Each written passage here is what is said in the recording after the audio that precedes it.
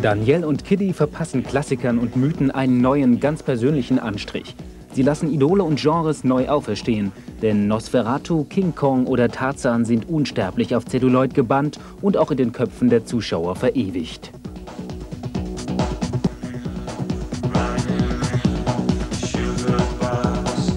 Ich habe die auch gemacht, um zu zeigen oder die Frage aufzuwerfen, wer stärker ist, der Film oder der Mensch oder wer wen stärker beeinflusst. Ich komme ja ursprünglich aus Amerika, wo Hollywood ja super präsent ist, mal als kleines Mädchen schon mit den ganzen Filmstars extrem konfrontiert werde.